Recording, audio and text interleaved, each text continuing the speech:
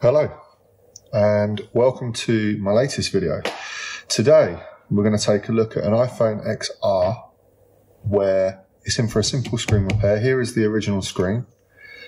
The manufacturer of the original screen is um, it's a C11 F7C screen, which is Toshiba, I believe. Um, the IC has been removed from this original screen and has been reballed. Uh, and one of my guys earlier, this was in the queue, one of my guys, we've had a couple of um, screens in where they've gone into stock, but they've got backlight marks. So he just powered the screen on just to check that it worked and to check it for backlight marks. But at the same time, what he noticed was um, that the touch didn't work on the top half. So I'm just going to plug this in and turn it on so that we can see it.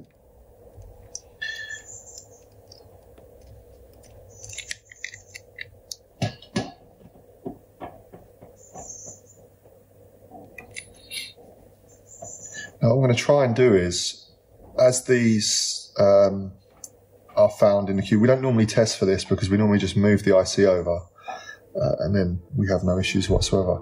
But what I'm going to do is document these the best that I can to show that it's an issue because it's a reason for swapping the IC over. So,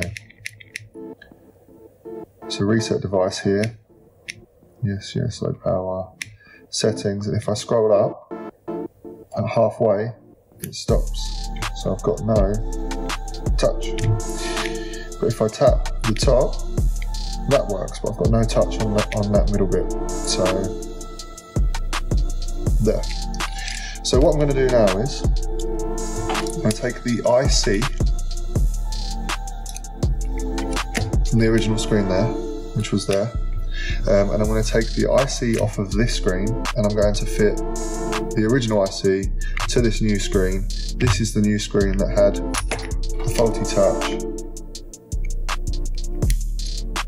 there. And then we're going to test the touch and we're going to see what the touch is like afterwards. All right, let's go.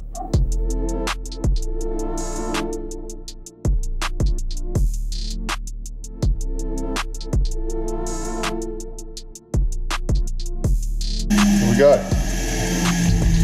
So here is that new faulty screen with the original IC now on the flex cable. I'll tidy it up before it gets fitted fully, but this is just to see what happens. So same screen, top half didn't work other than in the notches. Only thing that's changed now is the IC that's on the touch panel.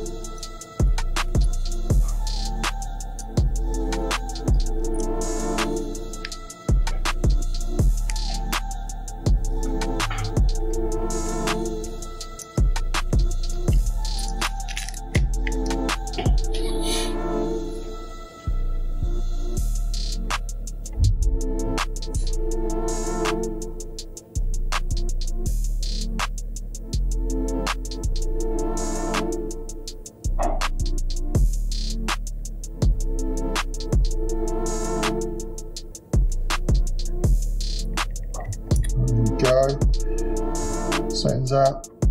Close. Okay. Scroll up. Oh. If you look at that, the touch now works absolutely fine all over the screen. There is no dead spots. Now, had this screen have worked in the first place and had we have fitted it and used it for the repair, there's a high chance that after an iOS update, the touchscreen would have either stopped working completely or it would have been half and half or it would have been just completely erratic, which is a lot, what a lot of people are seeing at the moment. So the data that is stored within this touch panel IC on the original screen there, that should be treated like a um, like a touch ID, like a home button touch ID. If you move that over to every new display, then you will have no touch issues like we had with this screen here. So this screen, rather than going back to the supplier or being re-refurbished with another uh, touch panel on it, this is now perfectly fine to use.